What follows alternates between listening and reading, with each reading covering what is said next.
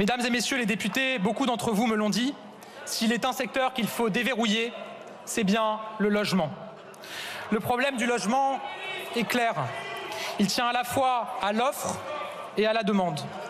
Or, pouvoir se loger, acquérir son logement, c'est pour tant de Français le projet d'une vie, l'assurance d'une retraite sereine.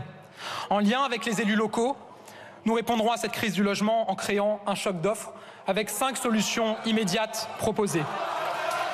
D'abord, nous allons simplifier massivement les normes, revoir les DPE, simplifier l'accès à ma prime rénov, faciliter la densification, lever les contraintes sur le zonage, accélérer les procédures.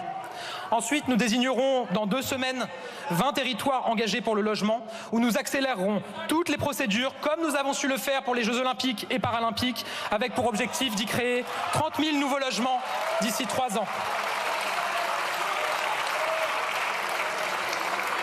Nous n'hésiterons pas procéder à des réquisitions pour des bâtiments vides, notamment des bâtiments de bureaux. Nous l'avons déjà fait et nous continuerons à le faire.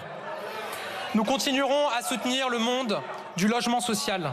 Nous avons agi pour lui en maintenant le taux du livret A, avec 1,2 milliard d'euros pour leur rénovation énergétique, avec des plans de rachat massifs.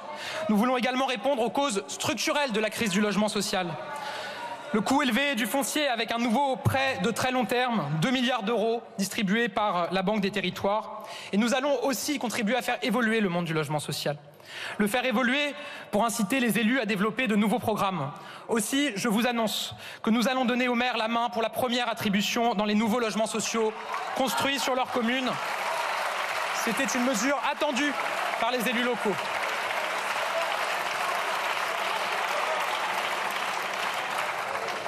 Nous allons aussi engager un chantier, une réflexion pour faire évoluer le logement social pour qu'il réponde davantage aux classes moyennes. Vous le savez, d'ici 2025, toutes les communes soumises à la loi SRU doivent posséder au moins un quart de logements sociaux sur leur territoire. Nous proposerons et nous mettrons en débat d'ajouter pour une part les logements intermédiaires accessibles à la classe moyenne dans ce calcul des 25